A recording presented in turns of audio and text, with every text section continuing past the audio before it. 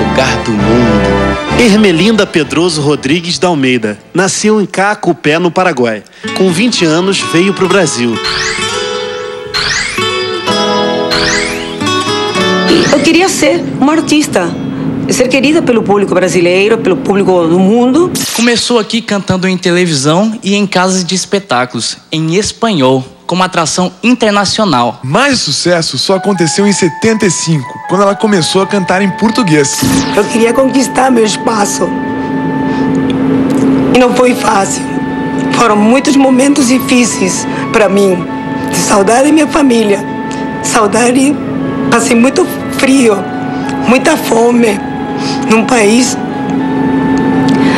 que é tão grande de riqueza. Eu sempre fiquei apaixonada pelo Brasil, desde, desde a escola, quando via o pão de açúcar, quando via o mapa do Brasil, falava: um dia ainda vou nesse país para tocar meu violão e cantar.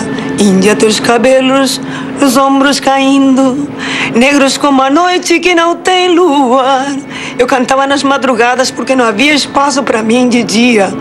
Eu tinha que entrar no listão das grandes rádios. Se naquela época era difícil e se as pessoas pensam que é fácil, se eu perdesse aquela fila, tinha que voltar ao dia seguinte para trabalhar essa música pela estrada do sol, pelas ondas do mar, aos caminhos que me deixem sempre perto de vocês.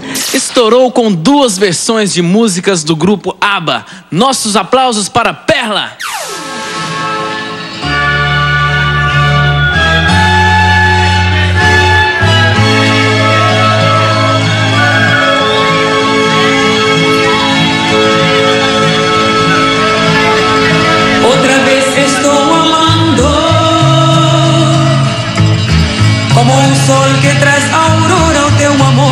Trouxe luz. Sou feliz, estou te amando.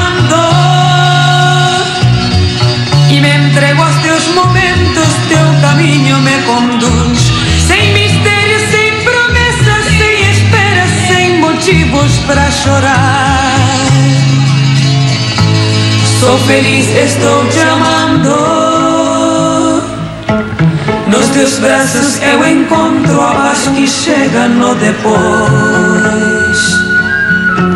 Sou amada, estou amando. Hoje existe um mundo novo, tudo feito para nós dois. Mais doçura, mais ternura, mais poesia, mais carinho para sonhar. Nosso amor nasceu